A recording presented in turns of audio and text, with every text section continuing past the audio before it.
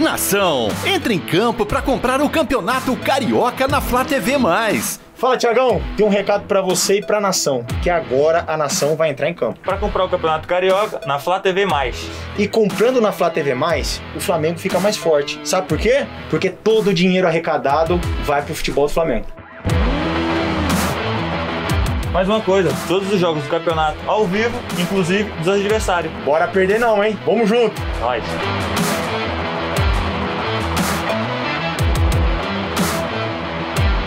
E nos jogos do Flamengo tem aquela transmissão rubro-negra que acompanha as emoções do torcedor.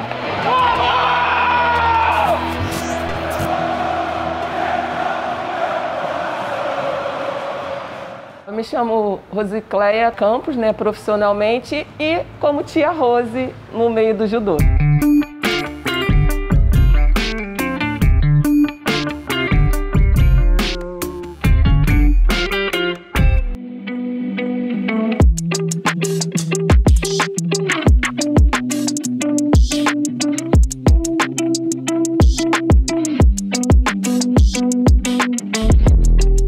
Sou do Rio de Janeiro, comecei judô numa academia chamada Renseikan, com o sensei Takeshi Ueda.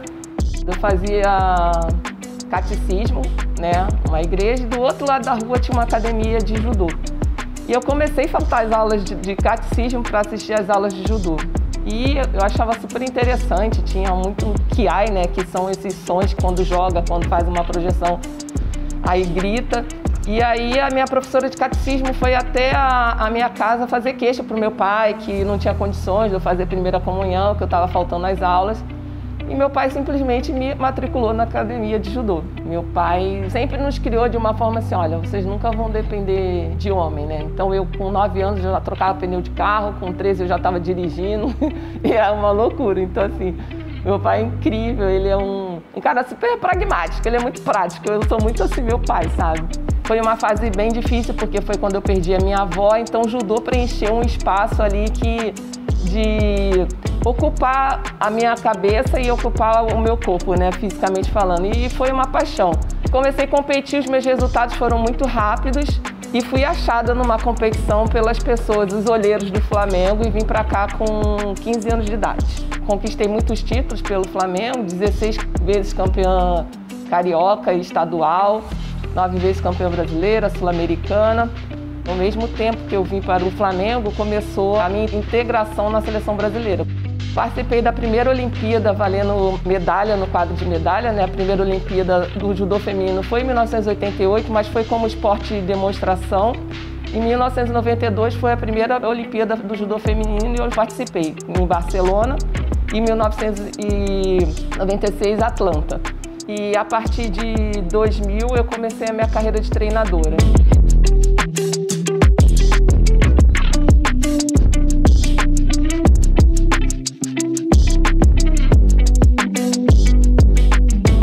Eu comecei como treinadora da equipe de base, né? No mesmo ano que eu fui contratada como profissional do Flamengo, que foi em 2001. Permaneço até hoje como treinadora, é o meu cargo aqui no Flamengo.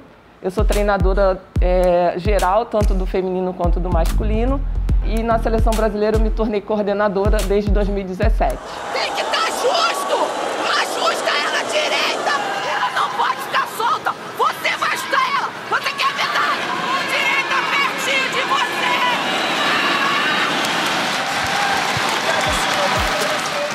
Outro momento inesquecível assim da, da, minha carreira, da minha trajetória, foi quando eu ganhei o prêmio de melhor treinadora do Brasil, né? Do Prêmio Brasil Olímpico. Quando eu subi naquele palco, eu estava representando todas as mulheres que percorreram e pavimentaram aquela estrada do judô feminino até aquele momento. Foi um momento de reconhecimento público, de ressignificação da minha carreira como atleta, como treinadora e eu compartilhei ele naquele dia com os meus pais, foi muito bacana.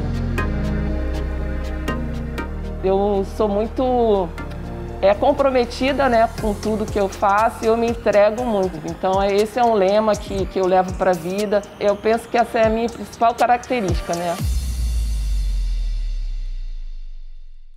Diferente do, de me tornar treinadora dentro do Flamengo, que eu fui abraçada, É, e eu fui aceita assim em todos os níveis, não tive a, a, questão de ser mulher, de ser jovem.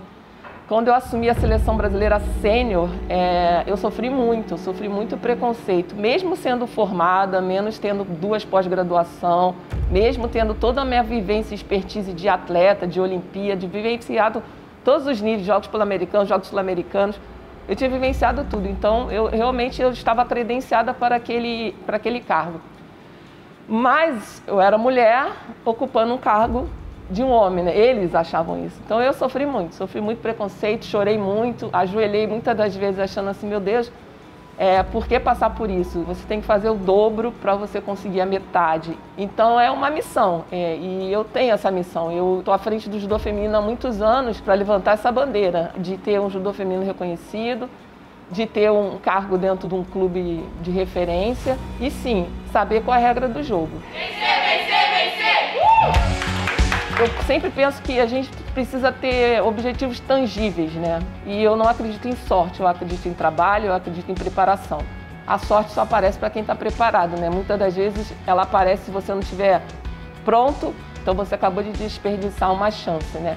E eu tenho sonhos normais de todo mundo, de ter uma vida melhor, de, de dar, de dar oportunidades para outras pessoas, ser esse vetor, né? De conseguir multiplicar coisas boas. É, eu pratico isso diariamente, de, de, ser sempre uma referência, um exemplo, das pessoas olharem para mim e se inspirarem na minha, na minha trajetória, que nunca foi fácil. A vida nunca me deu nada, eu sempre arranquei tudo dela. Então, eu não fico sentada esperando o sonho acontecer, eu faço ele acontecer. Olha, as pessoas que mais me inspiram são as nossas crianças aqui do, do Flamengo. É, é muito legal ver o, o nosso time Flamengo de judô, o sacrifício. Eu me ressignifico neles, porque eu vejo o quanto eles se sacrificam para chegarem até aqui. Eu me vejo nessa, nessa batalha. É, moram longe, estudam, e eu passei por tudo isso, então eu sei exatamente os passos que eles estão seguindo então, eles são a minha inspiração diária de chegar aqui, mantê-los motivados, ensiná-los a se automotivar. Então, sem dúvida nenhuma, eles são as minhas maiores inspirações. Nosso objetivo no Flamengo é muito bacana. É tão bom a gente ter, ter sonhos renovados, né? Então, a gente está com uma, um projeto de colocar nossos principais atletas de base na seleção brasileira, ter um judô é, fortalecido dentro do, do Rio de Janeiro e mostrar a força do, do sangue rubro-negro, que a gente tem muito para apresentar. Nós somos um clube que todos os atletas sonham em vir até aqui, conhecer. Nós temos uma estrutura física de primeiro mundo. O nosso tatame é olímpico, é um espaço climatizado, não existe no Rio de Janeiro, só no time Brasil e aqui no Flamengo que temos esse espaço com tanta qualidade, com tantas ferramentas para trabalhar. Então a gente está com sangue fervendo aí para começar essa temporada, para mostrar aí a nossa força aí do time rubro-negro. Uma vez Flamengo! Sempre Flamengo!